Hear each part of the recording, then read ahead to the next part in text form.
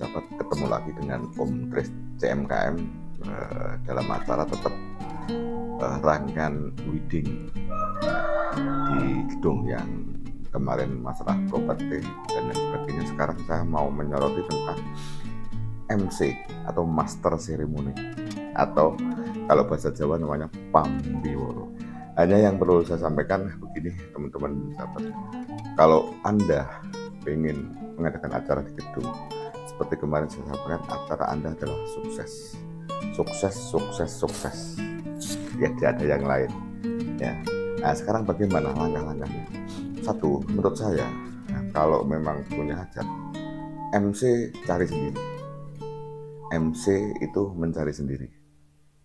Ya, kalau belum tahu permintaan anda seperti apa tanya-tanya teman MC yang seperti ini kriteria seperti ini. Uh, siapa namanya saya dalam hari ini tidak ingin menyoroti tentang teknik MC atau pambiworo karena di seperti Nganjuk itu ada namanya paguyuban permadani ya. Hanya begini ya teman-teman, eh, satu acara itu tidak selamanya uh, tidak selamanya mulus. Misalnya acara yang dimulai direncanakan jam 11 prepare-nya setengah 11 sudah prepare tapi kenyataan ada satu hal karena riasnya belum selesai bla bla bla bla bla itu ada pengalaman. MC itu begini MC itu punya rangkaian kata-kata ya pembukaan. Kadang-kadang dia uh, seperti yang saya lihat situasinya itu sudah mepet. Seharusnya eh, menurut saya dia tidak usah berkata banyak. Yang penting-penting saja. Dulu pernah terjadi seperti itu ternyata ada belajar MC bukan orang Jawa tapi dia orang dari lain. Hanya hafalan saja. Dikala untuk memotong mana yang penting itu kesulitannya. Itu itu itu itu pengalaman yang terjadi. Ah begini. Bapak Ibu dan saudara sekalian MC Master Ceremony itu adalah kata kunci juga. Acara penjalanan sukses juga karena MC ya. MC itu eh, acara yang biasa karena MC-nya pinter acaranya menjadi luar biasa. Kalau acaranya sudah terkemas luar biasa. Iya tetap harus luar biasa. Pada di sana sini pasti satu acara tidak ada yang sempurna. Pasti ada kendala-kendala. Itu MC yang berperan begini teman-teman dan saudara sekalian. Jadi MC itu eh, SOP oh sana MC-nya mahal sana premium sana murah. Itu terserah anda. Hanya begini MC kalau anda punya acara yang premium di gedung seharusnya ya, beda sendiri kemudian diajak rapat. Maunya tuan rumah seperti apa? Maunya tuan rumah seperti apa MC bisa menangkap. Terus kemudian di acara itu acara apa saja MC harus paham dan acara-acara rangkaian acara itu harus semua tercover misalnya ada penarinya jangan sampai kelupaan. Misalnya ada nyanyi-nyanyinya harus semua harus ditempatkan masing-masing. Misalnya tuan rumah punya suatu kenangan lagu yang harus disampaikan, itu harus disampaikan di part tertentu di tempat yang sangat di jam-jam yang sangat uh, strategis ya. Uh, gitu ya. Diajak diajak uh, musyawarah ya otomatis resikonya karena dia bekerja beberapa kali harus konsultasi HR-nya ya mesti agak beda. Tapi sebanding dengan acara no problem. Acara ratusan juta misalnya tambah 100, 200, 300 menurut saya tidak apa-apa tapi sebanding acara sukses. Gitu ya. Yang kedua, bahwa acara hajatan atau pesta di gedung itu acaranya pesta, pesta makan, eh, pesta ketemu reuni dengan teman-teman eh, baik yang punya hajat dengan temannya dengan hendak tolongnya kemudian tamu-tamu undangan tuh ketemu dengan teman-temannya lama teman sekolah di situ. Satu hal itu peran MC selain hafalan tadi yang untuk membuka acara bla bla bla dengan bahasa Jawa kalau itu Jawa kalau bahasa Indonesia bahasa Indonesia kalau bahasa luar Jawa ya adat luar Jawa. Itu harus menyapa.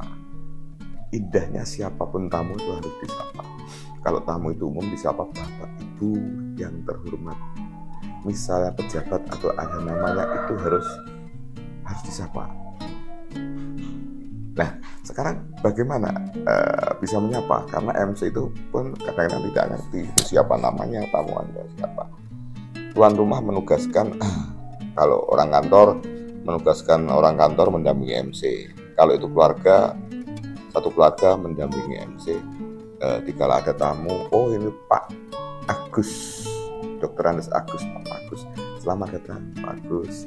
Terima kasih atas kehadirannya. Uh, Terima kasih juga atas doa restunya. Monggo silakan setelah jabat tangan uh, langsung ke tempat Kembul Bujono Ondrowino. Kembul Bujono Ondrowino tempat makan kan ya. Nah ini MC. Kemudian berikutnya uh, di, biasanya di situ ada MC manten uh, baik acara seremonial kemudian tidak dilanjutkan standing PT kemudian ada hiburan biasanya. Sekarang uh, nonsen ada acara tidak ada ya baik elektron atau musik live band atau keroncong atau gamelan. Ini si MC master seremoninya ini harusnya konsultasi komunikasi dengan pagi-pagi waktu prepare itu komunikasi dengan MC musik. Bagi tugas biar tidak tabrakan ya.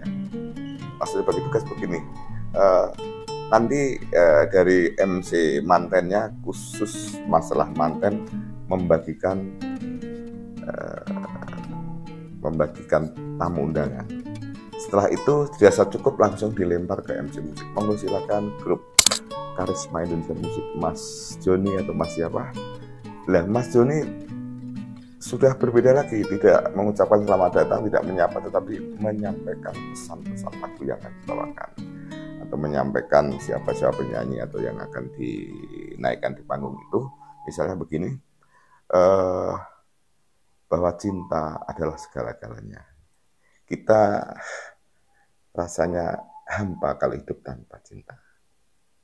Uh, Bapak Ibu dan undangan, inilah sebuah lagu manis uh, karya bla bla bla bla bla yang dibawakan oleh penyanyi cantik kita.